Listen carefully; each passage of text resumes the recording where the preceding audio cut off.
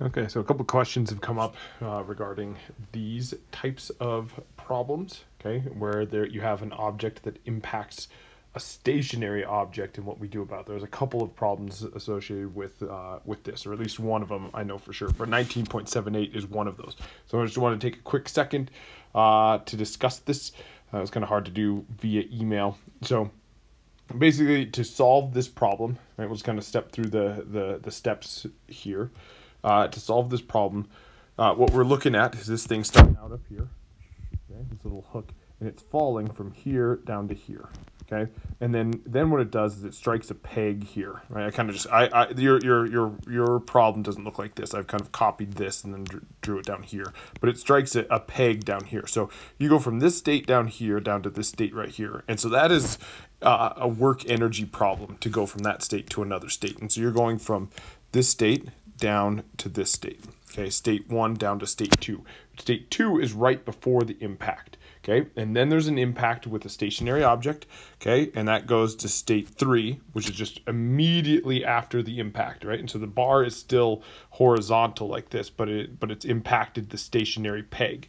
Right, so it goes step uh, stage one or, or, or yeah, state one down to state two, right? So it, it increases in velocity because of gravity. The potential energy from the gravity goes goes from here to here, okay, and it goes into kinetic energy. Then at this point right here, uh, there's an impact and it goes from state two to state three. When you do that impact, that's going to be a conservation of linear momentum problem, right? And I'll talk about that in a second. And, that, because there is no energy conserved across the impact, okay? And so uh, there, this thing comes out, it sticks to it right here, and then psh, the thing starts rotating around, okay? And the impact will tell us what that omega is after the impact, okay?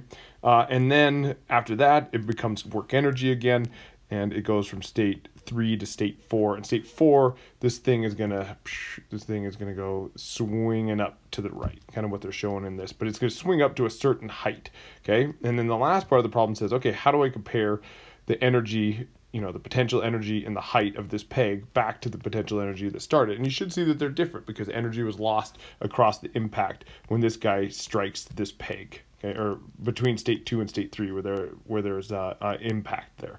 Okay, so then you might be saying, okay, well, how do you know it's conservation of angular momentum? And I kind of had some issues with this a little bit to begin with as well, because it, the state the first thing you're supposed to do when you do conservation of angular momentum type problems is to look at your free body diagram. If we look at a free body diagram that I've drawn over here on the right, we have the reaction from the peg, right? And I call I'm calling that this point like A over here. Uh, and so you have, you know, this this uh, uh, the reactions there, ax and ay at that point right there. But then you also have this mass times gravity term. Okay, and so if you look at this, are there any points on this object where the moments equal zero?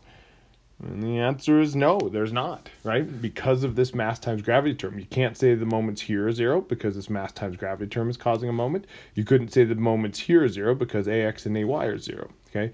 But what the book discusses there's a section in the, the book that we'll look back there.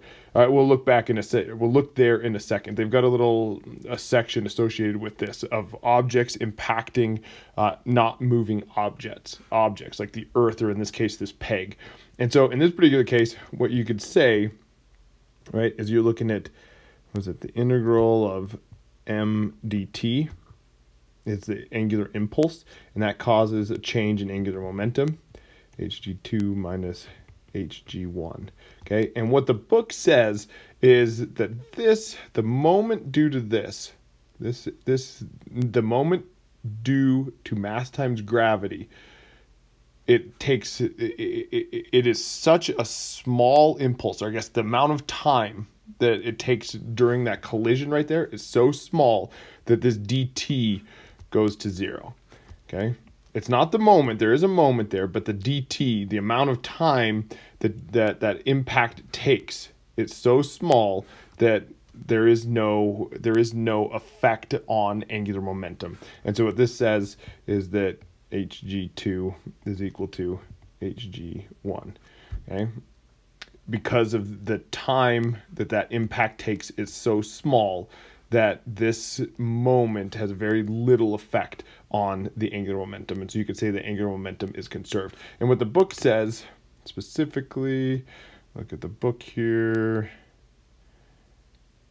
Let me scroll down. Oh, let me get it here. It's the one with this motorcycle.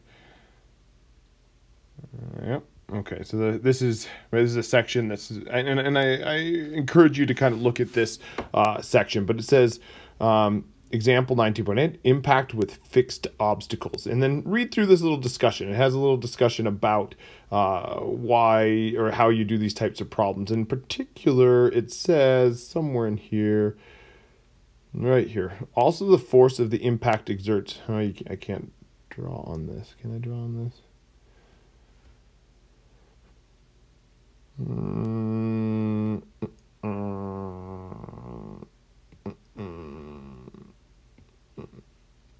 I cannot draw on it.